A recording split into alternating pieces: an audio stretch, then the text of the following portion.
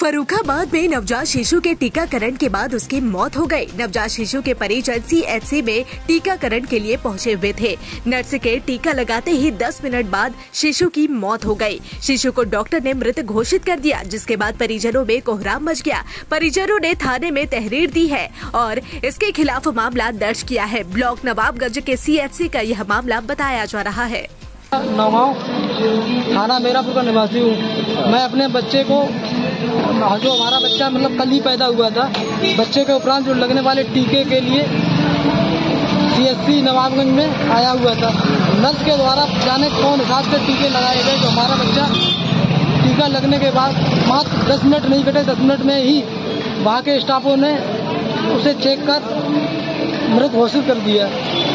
थाने हमारे तो अब मैं थाने में एप्लीकेशन देने आया हूँ, जिससे हमारे बच्चे को किया गया गलत तरीके से टीकाकरण।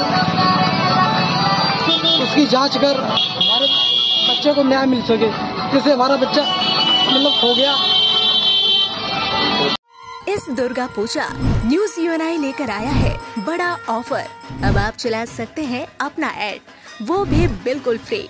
Jio TV, play on ई बाबा यूट्यूब, फेसबुक। अब आप चला सकते हैं एक महीने के साथ एक महीना। वो भी बिल्कुल फ्री तो अब देर किस बात की? ऐड के लिए सीधे संपर्क करें हमारे मेल फेसबुक यूट्यूब कमेंट पर, या फिर सीधे हमारे वेबसाइट पर और पाए ये बड़ा ऑफ़र